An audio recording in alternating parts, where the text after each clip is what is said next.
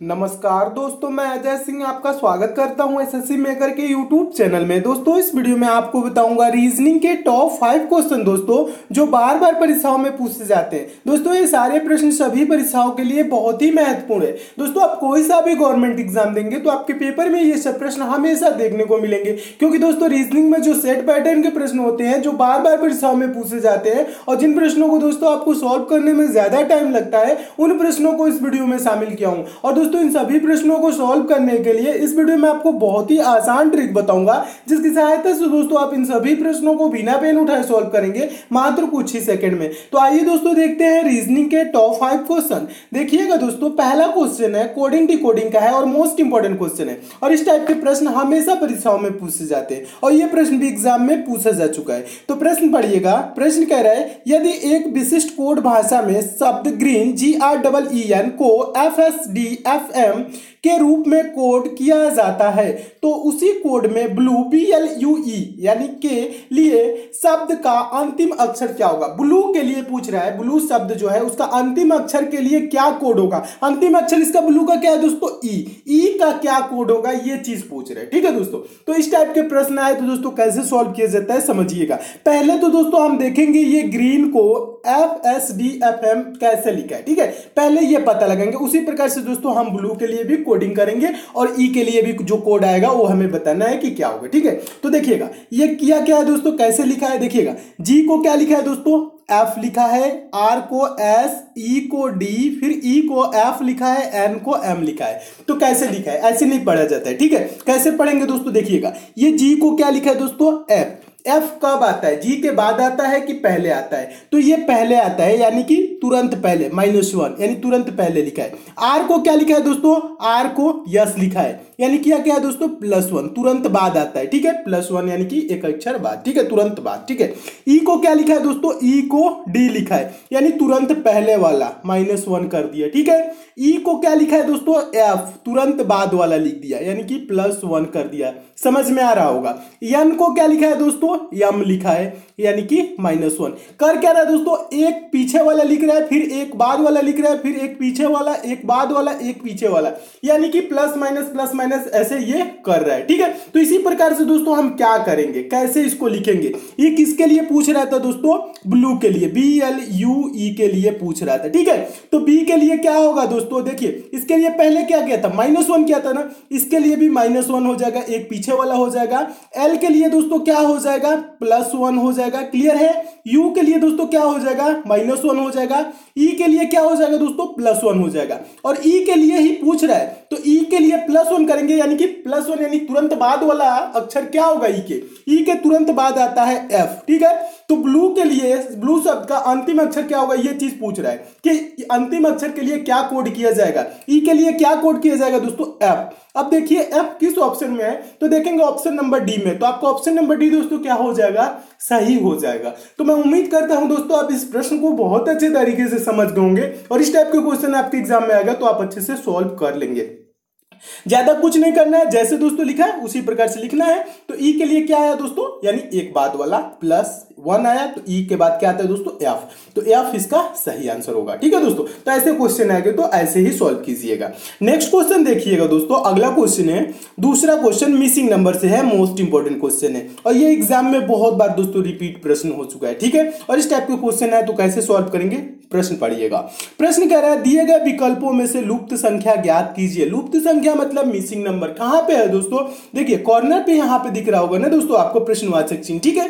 यहीं पे आपको बताना है कि कौन सी संख्या होगी, ठीक है? तो इसके लिए क्या करेंगे? कैसे सॉल्व करेंगे, ठीक है? जब दोस्तों यहाँ पे कॉर्नर पे पूछे, यानी कॉर्नर यहाँ पे पूछे प्रश्नवाचक चिन्ह तो यहाँ दो तरीका हो सकता है आपको सोचने का, कि प्रश्न को कैसे सोचेंगे, कैसे समझेंगे। पहले सोचने का तरीका देखिएगा, कैसे सॉल्व किया जाता है। देखिए, या तो दोस्तों हम देखेंगे चार, यहाँ पे नौ और चार, यहाँ पे चार और नौ कैसे है यानी कहने का मतलब है, ऐसे हम सोच सकते हैं, सात और चौदह को कुछ करे कि चार आ जाए, चार और बारह को कुछ करें कि नौ आ जाए, ठीक है? एक ये तरीका रहा, यानी कि एरो देखिए इस टाइप से। और दूसरा तरीका ये रहा दोस्तों, प्रश्न को हम ऐसे सोचे। सात और चार को दोस्तों क्या करें कि छह आ जाए चौदह और बारह को क्या करें कि चौबीस आ जाए, उसी प्रकार से दोस्तों चार और नौ को क्या करेंगे कि प्रश्नवाचक चिन्ह संख्या आ जाए। जैसे ये आएगा दोस्तों, ठीक है? एक तो ये तरीका रहा। तो देखिए, पहले हम आपको बता दें, सात और चार को दोस्तों कुछ करिए, छह आए, ठीक है? गुणा भाग जोड़ घटना करेंगे तो छह आने की कोई संभावना नहीं है। या दोस्तों आप चौदह और बारह को भी कुछ करें तो चौबीस आने की यहाँ पे कोई संभावना नहीं बन रही है कि ना आएगा इस टाइप से, ठीक है? तब नहीं आएगा, तब क्या करेंगे दोस्तों? तब हम प्रश्न को ऐसे सोचेंगे। सात और चौदह को क्या करे कि चार आ जाए। तो दोस्तों देखिएगा, यहाँ पे थोड़ा सा एक संभावना बन रहा है। क्या बन रहा है? चौदह को दोस्तों आप क्या करेंगे? सात से भाग करेंगे। चौदह को क्या करेंगे? सात से भाग करेंगे। तो कितने बार में जाएगा दोस्तों? सात दुना का क्या होता है? चौदह, दो बार में। और दो का दोस्तों स्क्वायर कर देंगे तो क्या हो जाएगा? चार। देखिए, चार यहाँ पे दिया हुआ है। ठीक है? क्लियर है? चार से दोस्तों क्या करेंगे? बारह में भाग करेंगे। चार से क्या करेंगे दोस्तों? चार से बारह को भाग करेंगे। बारह को भाग करेंगे तो कितने बार में जाएगा? चार तिहाई बारह होता है और तीन का स्क्वायर कर देंगे तो क्या हो जाएगा दोस्तों? तीन का स्क्वायर नौ। और देखिए नौ यहाँ पे दिया हुआ है ठीक है? इसी प्रकार से दोस्तों क्या करेंगे? जो आपका प्रश्न पूछ रहा है उसका आंसर देंगे। देखिएगा, ये क्या करेंगे? छह को दोस्तों क्या करेंगे? छह से चौबीस में भाग करेंगे, ठीक है? क्या करेंगे दोस्तों? यहाँ समझिएगा, एक बार और समझाता हूँ। क्या करना है दोस्तों? यहाँ पे जो चीज़ दिया हुआ है ना, छह से क्या करेंगे? छह से दोस्तों चौबीस में भाग करेंगे। चौबीस को छह से भाग करेंगे, कितने बार में जाएगा? छह चौको चौबीस, चार बार में जाएगा और चार का स्क्वायर दोस्तों करेंगे तो क्या होगा? सोलह। तो यहाँ पे भरा जाने वाला संख्या क्या होगा दोस्तों? सोलह। सोलह देखिए दोस्तों, किस ऑप्शन में दिया गया है? तो देखेंगे ऑप्शन नंबर दूसरे में दिया गया तो आपका ऑप्शन नंबर दूसरा क्या हो जाएगा? सही हो जाएगा। तो मैं उम्मीद करता हूँ दोस्तों, आप इस प्रश्न को भी बहुत अच्छे तरीके से समझ गए होंगे और इस टाइप के भी क्वेश्चन आपके एग्ज़ाम में आएगा तो आप अच्छे से सॉल्व कर लेंगे। ठीक है? क्या किया दोस्तों? सात दुना का चौदह, दो का स्क्वायर चार चार तिहाई बारह उसके बाद से तीन का स्क्वायर नौ, छह चौको चौबीस, चार का स्क्वायर सोलह। यहाँ पे सोलह हो गया, जो कि ऑप्शन नंबर दूसरे में। तो आपका ऑप्शन नंबर दूसरा क्या हो जाएगा दोस्तों? सही हो जाएगा। तो मैं उम्मीद करता हूँ दोस्तों, आप प्रश्न को बहुत ही अच्छे तरीके से समझ गए होंगे। दोस्तों, आपको क्वेश्चन अच्छे लगते हैं, समझ में आते हैं तो वीडियो को दोस्तों ज़्यादा से ज़्यादा शेयर किया करिए और लाइक भी दोस्तों करके हमें मोटिवेट किया करिए कि आपको ये क्वेश्चन अच्छे लग रहे हैं, ठीक है? और दोस्तों, जो नए दोस्त है, वो चैनल को सब्सक्राइब करके तो जुड़ ही जाए नोटिफिकेशन बेल को दोस्तों ज़रूर ऑन कर ले, ताकि आपको डेली सारे वीडियोस की नोटिफिकेशन मिले। क्योंकि दोस्तों, मैं उन्हीं क्वेश्चन को कराता हूँ जो एग्ज़ाम ओरिएंटेड क्वेश्चन होते हैं, जो एग्ज़ाम में हमेशा पूछे जाते हैं, ठीक है? तो इसलिए दोस्तों, आप हमसे ज़रूर जुड़े रहिए। चलिए देखते हैं तीसरा क्वेश्चन देखिएगा, तीसरा क्वेश्चन आपका डाइस से है, पासा से है मोस्ट इंपॉर्टेंट क्वेश्चन है और पूछा गया क्वेश्चन है। और इस प्रकार के हमेशा प्रश्न पूछे जाते हैं। तो इसके लिए दोस्तों, आपको पेन उठाने की ज़रूरत नहीं है, ना ज़्यादा सोचने, समझने की ज़रूरत है। बहुत ही आसान से, आसानी से सॉल्व होता है और आसान टाइप का क्वेश्चन है। देखिएगा, कैसे सॉल्व करना है। डाइस आपके लिए बहुत आसान हो जाएगा। क्वेश्चन पढ़िए। क्वेश्चन कह रहा है, नीचे एक ही पासा के चार प्रारूपों को दर्शाया गया है। इस पासा में एक बिंदु वाले फलक के विपरीत फलक पर बिंदुओं की संख्या कितनी होगी? ये चीज़ पूछ रहा है। तो क्वेश्चन समझिएगा। क्वेश्चन पूछ रहे दोस्तों, जो एक बिंदु वाले फलक है, उसके विपरीत फलक पर बिंदुओं की संख्या कितनी होगी, ये चीज़ पूछ रहा है। यानी ये जो दोस्तों आपको एक कहाँ दिख रहा है, किस पासे में किस फलक पे दिख रहा है। पहले पासे में देखिए, यहाँ पे दिख रहा है ना, और इसी के विपरीत फलक पे पूछ रहे यानी कि एक अगर जो दोस्तों ऊपर है तो ये जो नीचे वाला जो फलक नहीं दिख रहा है, उस पर कितना अंकित है, ये आपको बताना है। देखिए तो पहले तो क्वेश्चन में दोस्तों देखेंगे, एक है कहाँ? तो एक देखेंगे इस वाले पे है, दूसरे वाले में भी देखेंगे एक एक यहाँ पे है और तीसरे चौथे में नहीं है, ठीक है? तो अब देखिए, अब क्या करना है? एक जब दिख, मिल गया आपको तो फिर देखेंगे उसके दो और फलक पे कौन कौन से अंक अंकित है। तो देखिए, दो और फलक पे क्या है दोस्तों? दो और तीन है। क्लियर है? क्या है? दो और तीन। अब देखिए दोस्तों, दो और तीन किस पासे में आपको नज़र आ रहे हैं? तो देखेंगे दोस्तों, दो और तीन आपको नज़र आ रहे हैं इस वाले में, चौथे वाले में। तो ये दो और तीन, दो और तीन दोस्तों क्या हो जाएँगे? कॉमन हो जाएँगे। जो इस पे बच गया दोस्तों, वही एक का विपरीत हो जाएगा। इस पे बचा क्या है दोस्तों, ये अंक, कितने अंक वाला है दोस्तों? ये बिंदु कितने वाला है? छह बिंदु। तो एक का विपरीत क्या हो जाएगा दोस्तों? छह। एक का विपरीत क्या हो जाएगा? छह। क्लियर है? ये दो तीन दो तीन क्या होंगे दोस्तों? ये दो तीन दो तीन कॉमन हो गए और ये एक के विपरीत क्या हो जाएगा दोस्तों? जो बच गए, छह। तो छह किस ऑप्शन में? ऑप्शन नंबर डी में। तो आपका ऑप्शन नंबर डी दोस्तों क्या हो जाएगा? सही हो जाएगा। ये तो एक, ये तरीका रहा। दूसरा देखिए दोस्तों, यहाँ पे भी एक आपको नज़र आ रहा होगा, दूसरे वाले पासे में एक। और इस पे क्या है दोस्तों? दो और पाँच है। क्या है? दो और पाँच। और दो और पाँच देखिए, किसी आपके पासे में नज़र आ रहा है तो देखेंगे दो और पाँच आपको यहाँ पे तीसरे वाले में नज़र आ रहा है। तो दो और पाँच, दो और पाँच क्या हो जाएँगे? कॉमन हो जाएँगे, तब भी क्या होगा दोस्तों? एक का विपरीत ये हो जाएगा छह। एक का विपरीत, तब भी क्या हो रहा है? छह हो रहा है। और छह किस ऑप्शन में? ऑप्शन नंबर डी में। तो आपका ऑप्शन नंबर डी दोस्तों क्या हो जाएगा? सही हो जाएगा। तो मैं उम्मीद करता हूँ दोस्तों, आप इस प्रश्न को बहुत अच्छे तरीके से समझ गए होंगे। और इस टाइप के क्वेश्चन आपके एग्ज़ाम में आएगा तो आप अच्छे से सॉल्व कर लेंगे।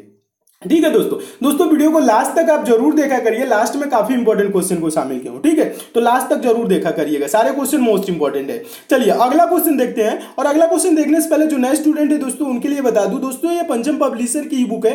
आपके आगामी सभी परीक्षाओं के लिए इंपॉर्टेंट है। चाहे आप दोस्तों रेलवे की एग्ज़ाम देंगे एस की एग्ज़ाम देंगे, या अगर आप दोस्तों कोई सा भी गवर्नमेंट एग्ज़ाम देंगे। क्योंकि दोस्तों, इस ई बुक में उन प्रश्नों को शामिल किया गया जो प्रश्न आपके बार बार परीक्षाओं में पूछे जाते हैं, जो प्रश्न हमेशा परीक्षाओं में रिपीट होते हैं। दोस्तों, इस ई बुक में आपको दस प्रैक्टिस सेट मिल जाएगा। प्लस दस वन लाइनर सेट मिल जाएगा।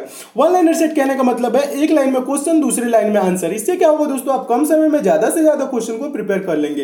दोस्तों, आपके एग्ज़ाम में एक से दो दिन का भी टाइम रहेगा तो इसी बुक को लेकर आप ज़रूर पढ़ लीजिएगा, आपके एग्ज़ाम में काफ़ी हेल्प मिलेगी। क्योंकि दोस्तों, इसमें साइंस जनरल अवेयर्स और करंट अफेयर के इंपॉर्टेंट प्रश्नों को शामिल किया गया, जो आपके प्रश्न हमेशा परीक्षाओं में रिपीट होते हैं। दोस्तों पंजाब पब्लिशन इसकी कीमत एक सौ रुपए रखी थी, लेकिन मेरे कहना दोस्तों, ई बुक आपको मात्र पच्चीस रुपए मिल जाएगी। इस बुक को दोस्तों आपको ले कहा सकते हैं। तो दोस्तों, इसका लिंक मैं नीचे डिस्क्रिप्शन बॉक्स में दे दिया उस लिंक पे आप क्लिक करके दोस्तों इस ई बुक को एक बार लेके ज़रूर पढ़ लीजिएगा।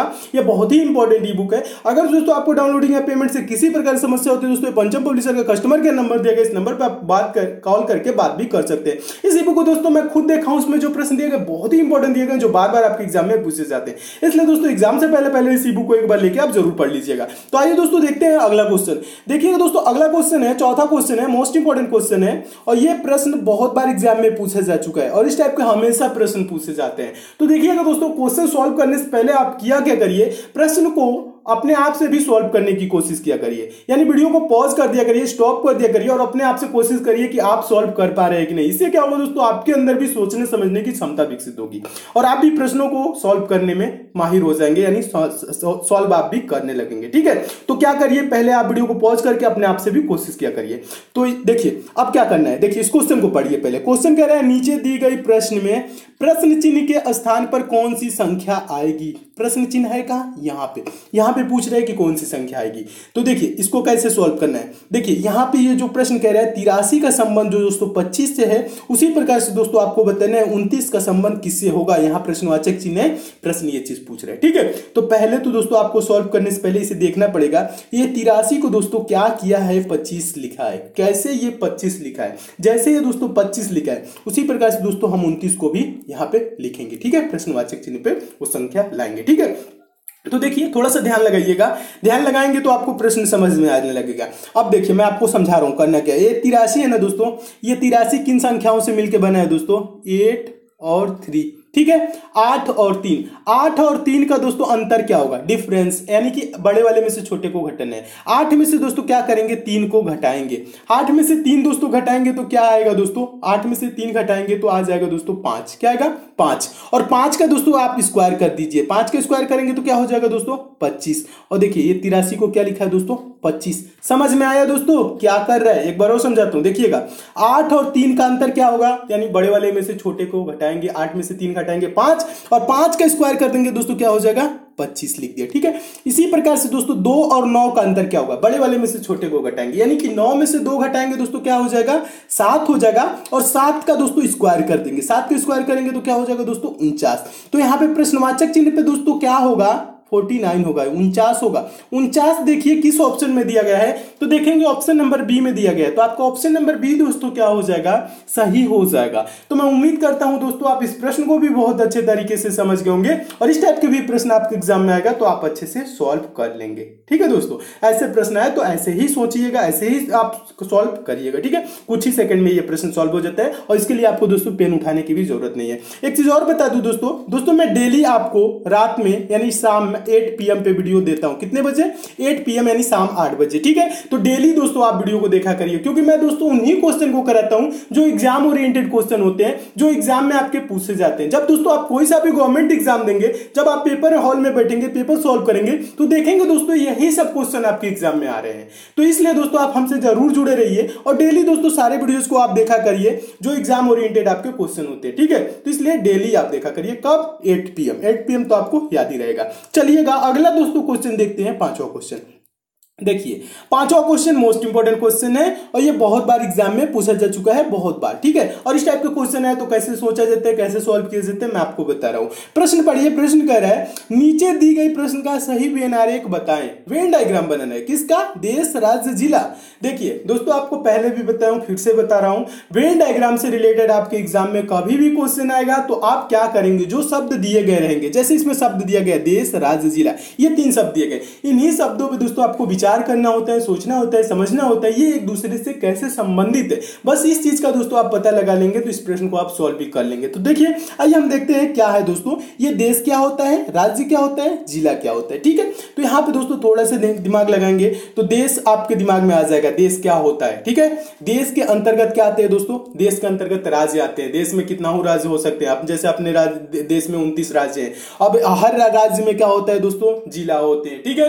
हर राज्य में भिन्न भिन्न जिला होती है, ठीक है? किसी में सत्तर, किसी में पचहत्तर, किसी में साठ, किसी में बासठ, ऐसे जिला होती है, ठीक है? तो ये चीज़ आपको दिमाग में थोड़ा सा लाना है। कैसे लाना है? सोचना है। सबसे बड़ा क्या होगा दोस्तों? सबसे बड़ा क्या होगा? देश होगा, राज्य होगा या जिला होगा? आप बोलेंगे सबसे बड़ा हो जाएगा दोस्तों, देश। अब इसके अंतर्गत क्या आएगा दोस्तों? इसके अंतर्गत आएगा राज्य, ठीक है? अब देश में कई राज्य हैं, ठीक है? अब उसके अंतर्गत क्या आ जाएगा दोस्तों? राज्य। और राज्य के अंदर क्या आता है दोस्तों? जिला। समझ रहे हैं? ये प्रश्न कैसे हुआ? एक बार और समझाता हूँ। देखिएगा, सबसे बड़ा क्या हो जाएगा? देश। देश के अंदर क्या आएगा? राज्य। राज्य के अंदर क्या आएगा दोस्तों? जिला। यानी प्रश्न का आंसर ये चीज़ हो गया। यानी प्रश्न का आंसर ये हो गया, यानी कि देखिए इस टाइप से वेन डायग्राम किस ऑप्शन में बना है? तो देखेंगे ऑप्शन नंबर बी में बना है। तो आपका ऑप्शन नंबर बी क्या हो जाएगा दोस्तों? सही हो जाएगा। तो मैं उम्मीद करता हूँ दोस्तों, आप इस प्रश्न को भी बहुत अच्छे तरीके से समझ गए और इस टाइप के भी प्रश्न आपके एग्ज़ाम में आएगा तो आप अच्छे से सोल्व कर लेंगे। ज़्यादा कुछ नहीं करना है दोस्तों, आपको बस करना क्या है? देश। देश के अंदर आ जाएगा राज्य राज्य के अंदर आ जाएगा जिला। यानी ऑप्शन नंबर बी आपका सही हो गया। क्या दोस्तों इसके लिए पेन उठाने की ज़रूरत है? नहीं। क्या ज़्यादा सोचने समझने की ज़रूरत है? नहीं। बस ये आपके कॉमन सेंस पे काम करता है। थोड़ा सा दिमाग लगेंगे आंसर मिल जाता है, ठीक है? तो इसका आंसर हो जाएगा ऑप्शन नंबर बी तो मैं उम्मीद करता हूँ इस प्रश्न को भी आप अच्छे से समझ गए होंगे, बहुत ही अच्छे तरीके से। दोस्तों, इसमें और भी क्वेश्चन है, उसको मैं नेक्स्ट पार्ट में करा दूँगा। अगर दोस्तों आपको किसी अन्य चैप्टर में प्रॉब्लम है तो उस चैप्टर का भी नाम नीचे कमेंट कर दीजिएगा, वो भी चैप्टर में बहुत जल्द कंप्लीट करा दूँगा। दोस्तों, अगर आप मैथ में भी है मैथ बेसिक से ज़ीरो लेवल से चैप्टर वाइज दोस्तों मैथ पढ़ना चाहते हैं तो दोस्तों आपके लिए एक चैनल बना हूँ, जिसका लिंक दोस्तों नीचे डिस्क्रिप्शन बॉक्स में दे दिया हूँ। दोस्तों, आप उस चैनल पे जाके चैनल को सब्सक्राइब कर लीजिए नोटिफिकेशन बेल को ऑन कर लीजिए, जहाँ दोस्तों मैं मैथ बेसिक से पढ़ा रहा हूँ ज़ीरो लेवल से पढ़ा रहा हूँ और चैप्टर वाइज पढ़ा रहा हूँ। कुछ दिनों में दोस्तों मैथ के जब वहाँ सारी चैप्टर समाप्त हो जाएँगे, दोस्तों, आप भी मैथ के प्रश्नों को सेकंडों में सॉल्व करने लेंगे वो भी बिना पेन उठाए। तो मैथ में आपको थोड़ी सी भी प्रॉब्लम होती है, दोस्तों, उस चैनल पर ज़रूर जाए, जिसका लिंक दोस्तों, नीचे डिस्क्रिप्शन बॉक्स में दे दिया हूँ। और ये सब, दोस्तों, आपको क्वेश्चन अच्छे लगे हैं, समझ में आए हैं तो दोस्तों, इस वीडियो को लाइक ज़रूर कीजिएगा। लाइक वाला सिंबल दोस्तों, नीचे स्टाइप से बना हुआ यहाँ पे प्रेस कर दीजिएगा।